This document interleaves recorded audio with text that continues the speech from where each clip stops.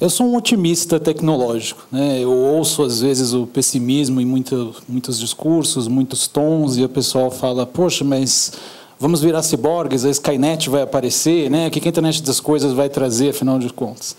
E acho que é importante lembrar, especificamente a questões de privacidade, que toda tecnologia nova traz em si uma boa carga de ansiedade.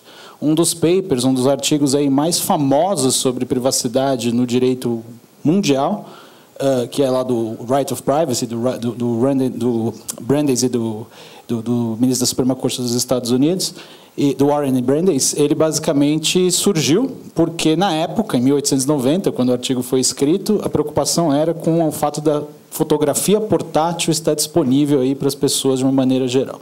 Então imaginava-se que aquilo era uma invasão absurda e que a sociedade nunca ia conviver com aquilo, e logo se constatou que todo mundo se adaptou. Todo mundo, na verdade, passou a querer ter uma máquina fotográfica, e portátil na época era bem diferente do que nós temos hoje. A gente nota isso nessa era da computação da mesmíssima forma, ou seja, hoje é cada vez mais barato, simples, é, colocar chip, colocar sensores, colocar câmeras aí de uma maneira geral em qualquer tipo de produto, e isso traz diversas vantagens quando a gente pensa nos usos que já vão sendo feitos. Muitos deles, todos os presentes aqui, já fazem, ainda que talvez sem necessariamente refletir sobre isso, que é ao carregar, por exemplo, um smartphone no bolso. Smartphones têm aí diversas dessas capacidades que a internet das coisas possibilita, e o que a gente está falando aqui é da expansão dessas capacidades para outros dispositivos do dia a dia. Hoje mesmo saiu na Wired uma matéria muito interessante de um cão que ajudou a salvar a dona. O cão ele era chipado. Quem é dono aí de pet sabe que no Brasil você já consegue fazer isso, né? Você consegue uh, implantar um microchip no seu bichinho de estimação, sendo que a ideia por trás disso é justamente impedir que ele, se caso ele se perca, né? caso um passeio você não consiga encontrar o animal, você possa encontrá-lo por meio dessa tecnologia. E essa matéria da Wired hoje falava exatamente o contrário. Uma, uma senhora de idade que sofreu um acidente, saiu de casa sem identificação, sem nenhum RG, nem nada desse tipo, nos Estados Unidos, e basicamente, graças ao chip que já estava implantado no cachorro, que estava junto com ela, que foi possível saber quem ela era, avisar os familiares, esse tipo de coisa. Outra aplicação interessante da internet das coisas é justamente o cenário, que já tem empresas que estão desenvolvendo isso. É, 90% para mais das pessoas idosas preferem continuar morando das suas casas e não necessariamente conseguem contratar pessoas para cuidar delas, pessoa bem idosa, bem velhinha. E diversas casas nos Estados Unidos, na Europa, já começam a ser instalados esse tipo de serviço de wireless, né, que tem os chips para identificar o quê? A rotina do morador.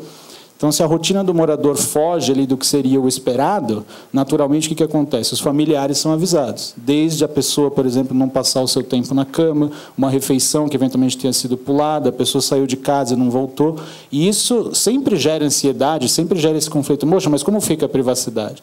Então, eu gosto de ser otimista e falar que parte desses usos são muito interessantes e a gente vai ver isso talvez de uma maneira mais natural. Daí, porém, decorre uma escolha legislativa de política pública que não só o governo brasileiro, mas todos ao redor do mundo vão acabar fazendo nessa parte de internet das coisas, que é justamente a diferença entre uma regulação preventiva, dentro daquela lógica do princípio da precaução, ou seja, vamos pegar os casos perigosos e regulá-los ao ponto de nos preocuparmos com isso desde já, ou vamos adotar uma ideia que é mais baseada naquela lógica de inovação sem necessidade de permissão. O sucesso, por exemplo, da web, dos modelos de negócio da internet, derivou justamente dessa segunda hipótese. Testou-se aí uma série de modelos de negócio, todo dia aparecem novidades aí utilizando, utilizando a internet, e se nota que justamente essa ausência de regulação restritiva ex ante é que permite essa fluidez, essas tecnologias, essas inovações todas. Ao passo que se a gente adota um critério da simplesmente ter que legislar ao extremo, eh, justamente com medo dos piores casos, eu acho que o grande risco que nós temos quando nós pensamos só nos piores casos é justamente não deixar florescer os melhores casos. A gente tem esse cenário e eu acho que eu concluo a minha resposta com algo que eu sempre gosto de contar. Quando os carros foram inventados, tanto Inglaterra quanto Estados Unidos passaram leis que ficaram conhecidas na época como leis de bandeira vermelha que, que eram essas leis? Você podia trafegar com o seu veículo, desde que à frente do carro andasse um pedestre carregando uma bandeira vermelha para alertar todos os presentes de que ia passar um carro a 3 km ou 5 km por hora, que era na época, de que o carro ia passar.